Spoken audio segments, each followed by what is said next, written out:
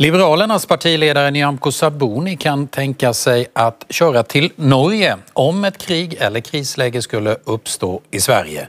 Trots att vi har totalförsvarsplikt i Sverige. Det här sa hon i ett samtal med moderatledaren för en vecka sedan.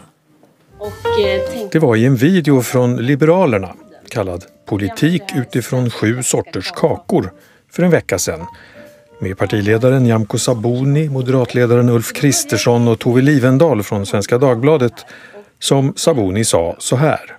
Människors också känsla tror jag av eh, att i kris och krig så klarar man sig bättre på landsbygden. Den tror jag är ganska påtaglig nu. Jag själv har tänkt, jag hade så här nätverk, tjejnätverk här i helgen som jag träffade och då var det en kvinna som beskrev, ja ah, men så har jag ju en släkting på västkusten och det är nära Norge. Om det blir krig så åker jag till landet, blir det värre så åker jag till Norge, de är medlemmar i NATO. Jag har själv tänkt precis samma sak. Ja men då har vi Skillingmark i Värmland.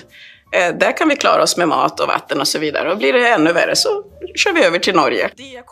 Men nu är det höjda ögonbryn. För grundregeln, totalförsvarsplikten, säger att alla som bor i Sverige stadigvarande i åldrarna 16 till 70 kan kallas in vid krig eller krigsfara för att göra en insats i någon form.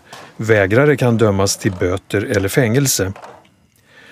Sabuni säger till Dagens Nyheter att det här var ett tankeexperiment i ett lättsamt samtal om var man skulle vilja vara i krig eller kris och att det inte är samma sak som var hon faktiskt kommer att vara.